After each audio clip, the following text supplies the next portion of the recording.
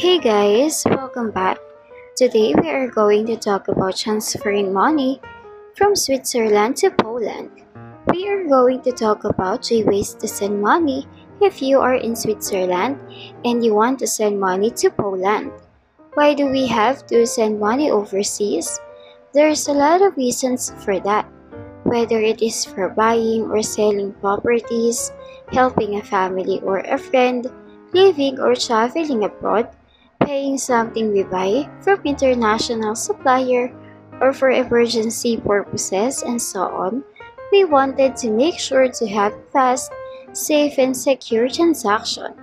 Transferring money from Switzerland to Poland, we have these top 3 ways for you. Our first option is the Azimo. It offers money transfer to 190 receiving countries in over 80 different currencies. It is the faster and cheaper way to send money abroad. Instant or 1 hour money transfers to 80 plus countries and your first two transfers are fee free. The company provides foreign money transfer solutions for customers worldwide. And to know more about Azimo, just check the video description.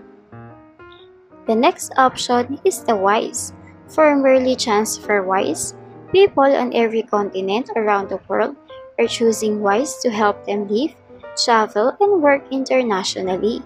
They have the fairest and the easiest way to send money overseas. Using WISE is as simple as sending money from A to B, but behind their app and website is a talented uh, is a complex engine of currency that is being designed, built, and powered by their talented teams in cities around the world. And to know more about WISE, just check the video description. The third option is the XE Money Transfer. This is an online money transfer company that offers a cheaper and faster way to send money internationally. As a trusted and seasoned name in foreign exchange, they could be a good option for your international money transfer. Founded in 1993, they have been dealing in foreign exchange for a long time. The fact that they don't charge transfer fees or have a minimum transfer amount make them quite attractive. And to know more about XE Money Transfer, just check the video description. Money transfer companies and government change rules all the time.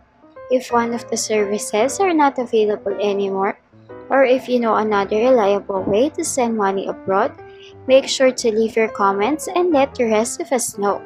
If this video is helpful, don't forget to hit the like button and subscribe.